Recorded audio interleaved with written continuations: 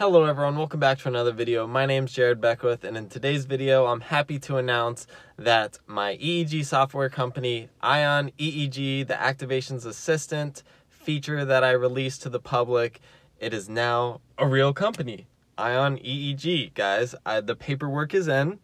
I had to, I guess, contact some lawyers and get them to set up my business legally or whatever and connect it to the IRS so that way I can pay taxes. All that complicated stuff, all taken care of. Now that all the paperwork's in and my business is officially registered in the state of Florida, I have to do some other things that you don't really think about. Is I have to set up a specific business bank account because you don't want to mix your personal funds with the business funds. You know, you, you got to make sure that's separated. And another thing is, I've got to start writing an annual report every year. That's something you don't think about until you have your own company or LLC. Yeah, I, I had to figure out like what is an LLC, a limited liability company, and why do I want it? And that was the best way for me to go because there's like a ton of different things and I don't know super deep into the details about it obviously since this is my first time doing it but I, we figured it out and I got the official paperwork to prove it, guys. My business is real now. That's this is a great day. And it says on the paper it was born July 6th, 2021, which is a full year ahead of schedule. Very impressive to myself. I still my brain is weird. It's like I still think I'm a slacker, but when I look at my notes from a long time ago, it's like I'm a full year ahead of schedule because I didn't expect to do this till 2022. You know what I'm saying?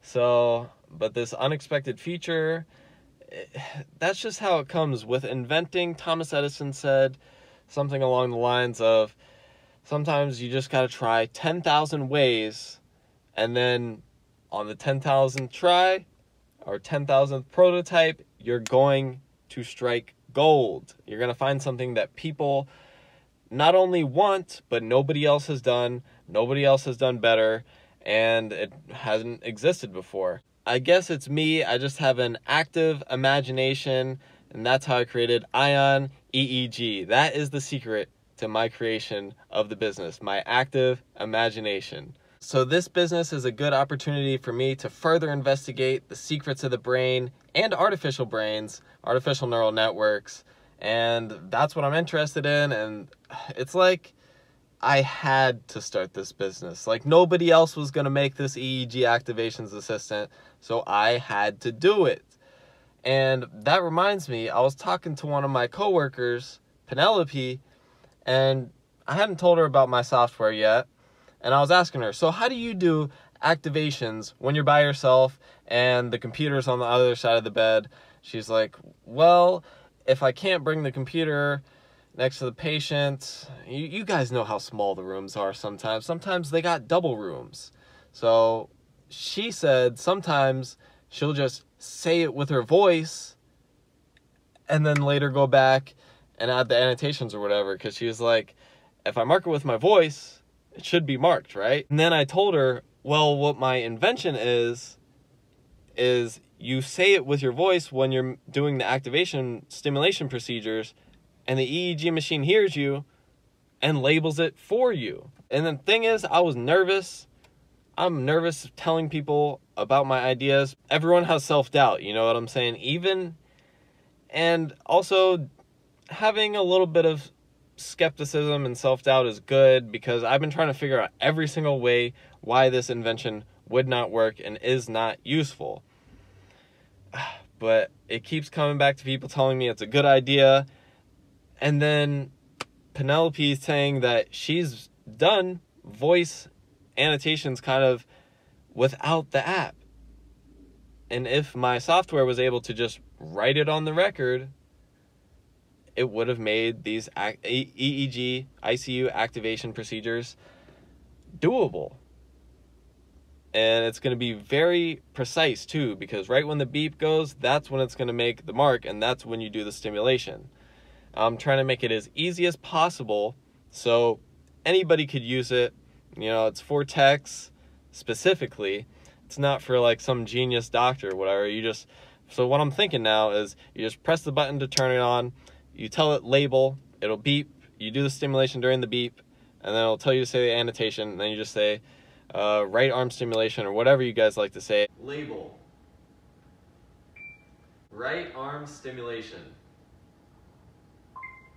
Annotation saved. I can program it specifically to recognize any any list of phrases you want it to recognize pretty easily. State of the art technology too.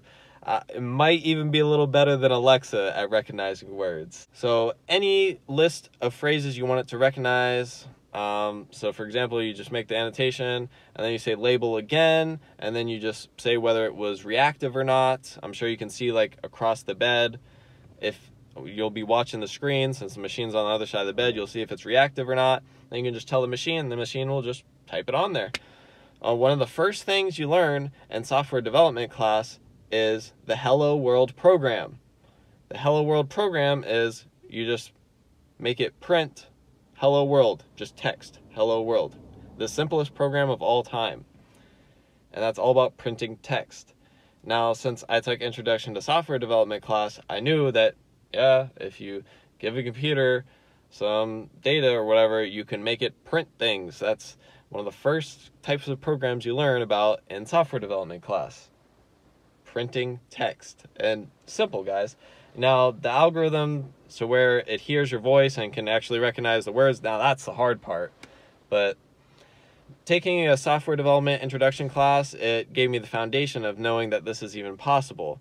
Like some business people, they will they will hear like AI or something, and then they'll ask like, how does AI help our macaroni and cheese production, for example, if it's like Kraft, and then they're not going to know anything about AI, they're not going to know they're going to have no idea and unrealistic expectations of what it can do and cannot do since I have a basic idea of what software and artificial intelligence can do, then I am in a prime position to make the best EEG artificial intelligence software.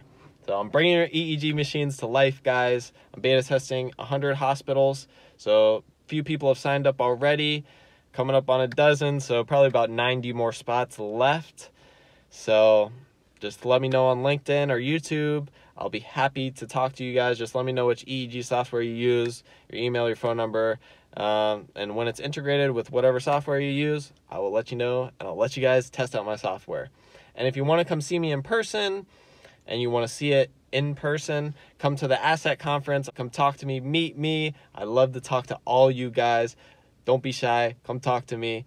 Because I remember when I went to my first conference in 2018 for a marketing conference back when I was a marketer. Um, I was, I went. I was like 20 years old. I uh, I went with my girlfriend at the time. She was 20. She was over 21, so she had to like rent the car or whatever. So that was that was pretty cool. Uh, we got a car, hotel, went to the conference, and I was a little bit shy, I would say, because I was like the youngest person there. It was like very nice business conference, all about marketing on the internet, called the Traffic and Conversion Summit. It was in San Diego. I just wanted to give people value.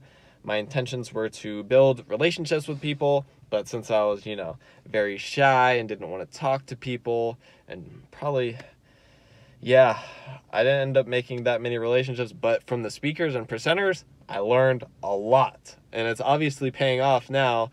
What? So I went in 20, 2018, 19, 20, 21.